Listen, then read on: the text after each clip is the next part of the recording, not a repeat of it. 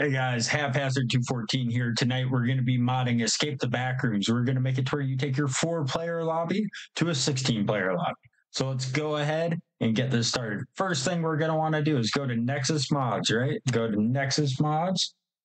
Once you get to Nexus Mods, you're going to go ahead, and change this over to games. We're going to go to Escape the. Once you do that, go ahead, hit enter, click on Escape the Backrooms.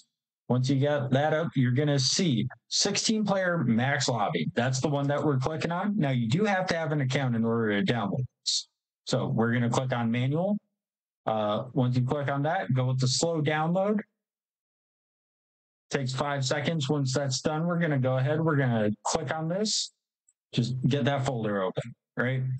Next thing, off the link that I have included in the description here, it's going to take you to a uh, GitHub repository to download the other necessary file, the UE4SS. Uh, so you're going to go ahead and click on that. It should automatically download for you. And as you see, it's there in the downloads. Next thing we're going to do, we're going to open up Steam. We're going to click on Escape the Backrooms. Correction, right click on that. Then we're going to go to Manage, Browse Local Files. Once you get those local files open, we're going to go click Escape the Backrooms content, packs. All right, here, this is one of the most important steps, and you cannot have any differences in how you name this folder that we're about to create.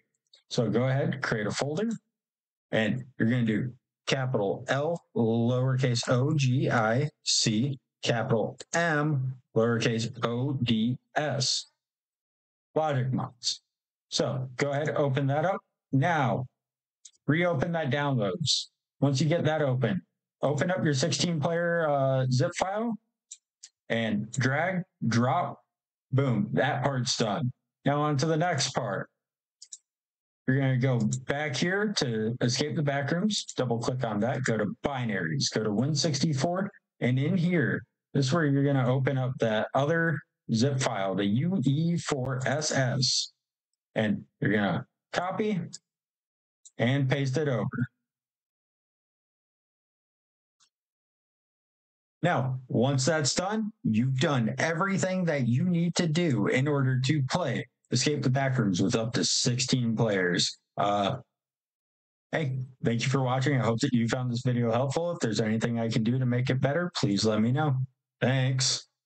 Until we meet again! Until we meet